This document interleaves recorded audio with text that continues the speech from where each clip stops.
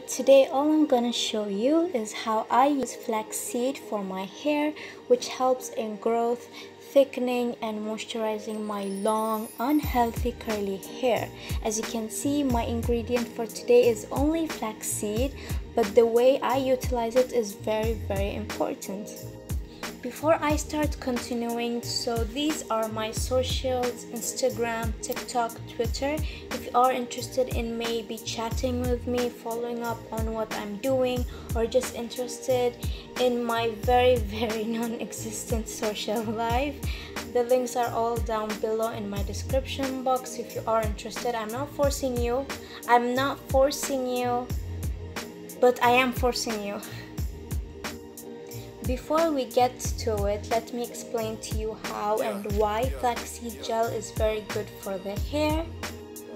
Flaxseed is widely known to contain various vitamins and minerals which are very helpful in aiding the hair such as vitamin B, magnesium, magnesium and many many other stuff that I can't probably spell it out and the biggest of them all is omega-3 which all helps in treating the scalp, prevent hair loss and promote hair growth.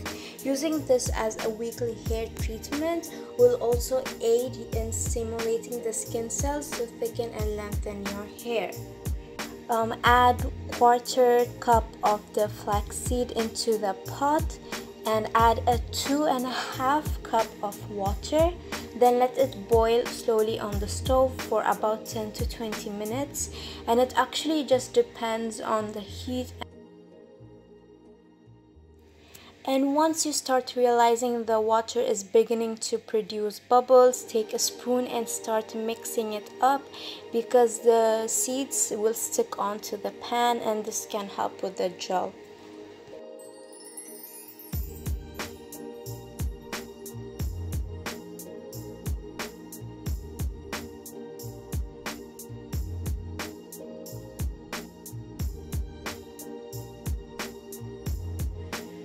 so if you are interested and you are unaware on where to find it i'm going to link an amazon link down in the description box for you to know how it looks like. And if you are interested in buying it you can just go and buy it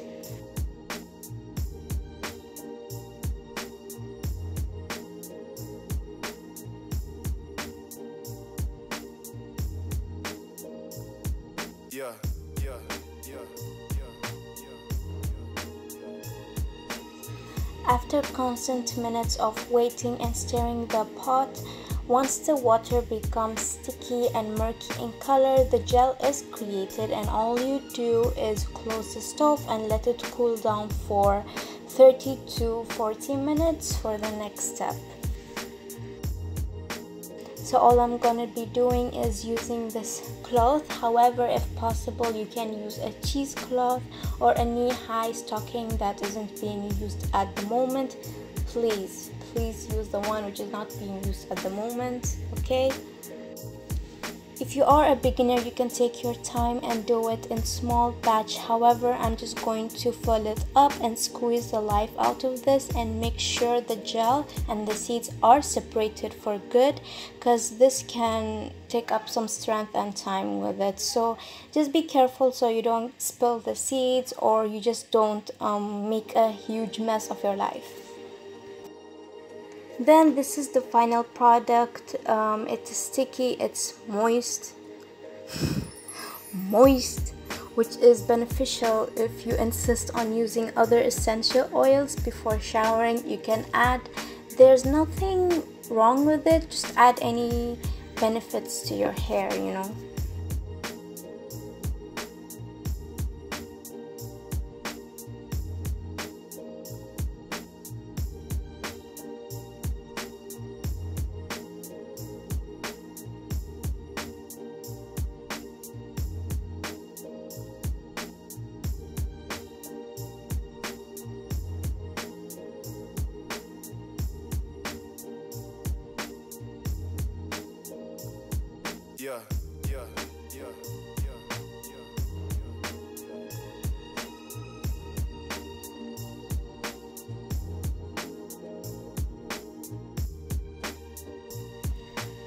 Now, ignore my overly tired looking face and this is how I apply the gel all over my head, scalp, hair and it's not necessary to comb but because my hair can unnecessarily create a knot for I have no idea why it's for the best. So make sure you massage yourself pamper yourself as if you're in a spa massage for the blood circul blurred blood circulation for your scalp just your overall head space health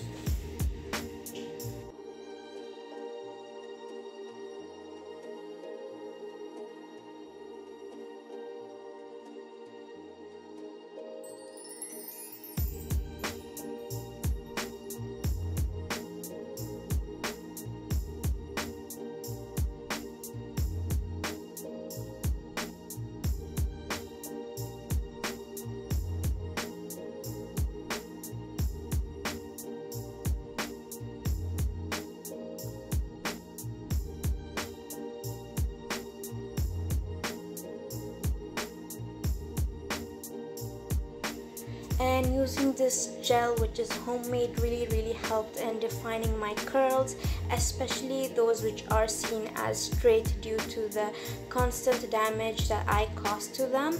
And before showering and after showering I just apply to it. It's very very good to go